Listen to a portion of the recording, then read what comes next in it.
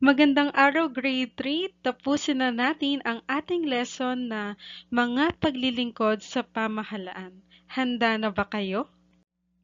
Naintindihan niyo na ba kung bakit mahalagang maibigay ng pamahalaan ang tamang paglilingkod para sa mga mamamayan? Sumasang-ayon ba kayo dito? O may tanong pa sa inyong mga isipan?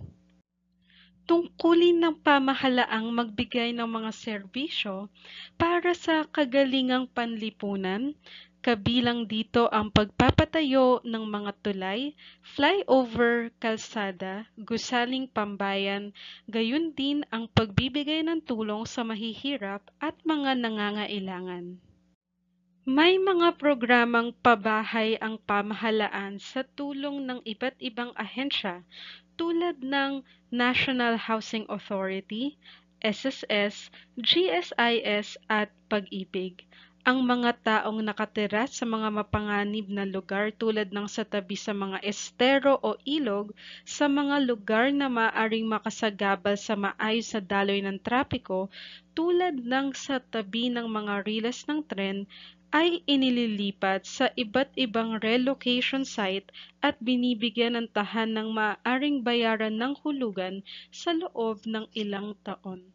May mga programa rin ang pamahalaan sa ilalim ng DSWD o Department of Social Welfare and Development para sa mga batang lansangan, mga naulila at mga may kapansanan. Ang mga ahensyang tulad ng DSWD, NDRRMC at ang mga lokal na pamahalaan ay tumutulong din sa mga biktima ng mga kalamidad tulad ng bagyo, lindol, pagguho ng lupa at iba pa. May nakalaang calamity fund o pondong salapi para matulungan makabangon muli ang mga biktima. Paano ka nakatutulong sa mga biktima ng kalamidad sa iyong munting paraan? Mayroon din iba pang paglilingkod at programa ng mga lalawigan para sa kanilang mamamayan. Ang iba't ibang bayan at lalawigan ay may paglilingkod at programa rin para sa kani-kanilang nasasakupan na minsan ay nakadepende sa kanilang kapaligiran at uri ng pamumuhay. Ang Galing Pook ay isang samahang kumikilala o nagpaparangal sa magagandang programa ng mga pamahalaang lokal sa bansa.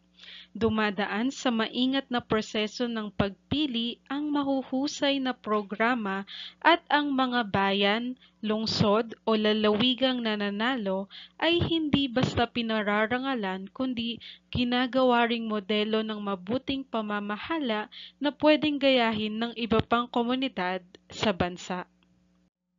Mayroon din tayong Philippine Cockatoo Conservation Program sa Nara, Palawan. Sa programang ito, ang dating mga nahuhuli ng mga ibong nanganganib nang mawala ay sila na ngayong naaatasang mga laga sa mga ito. Nakabubuti ito sa mga ibong kakatu o kalangay dahil napangangalagaan ang mga ito. Dahil sa tagumpay ng programang ito, ginagawa na rin ito ngayon hindi lang para sa mga ibong kalangay, kundi para na rin sa iba pang uri ng mga hayop at halaman sa gubat. Ang panghuli naman ay ang Sirib Express ng Ilocos Norte. Sa programang ito, binigyan ng lalawigan ng Ilocos Norte ng malaking importansya ang mga kabataan. Nagkaroon ng isang opisina sa Kapitolyo at dito nagpupunta ang mga kabataan para makakuha ng mga serbisyo ng pamahalaan para sa kanila tulad ng halimbawa ng mga scholarship, trabaho, guidance and counseling, mga seminar para sa mga kabataan, at iba pa. Ano nga ba ang dapat nating isaisip? Ang mga tungkulin ng pamahalaang magbigay ng maayos na pamamahala at mapangalagaan ang kapakanan ng mga mamamayan. Kaya naman nagbibigay ito ng iba't ibang paglilingkod.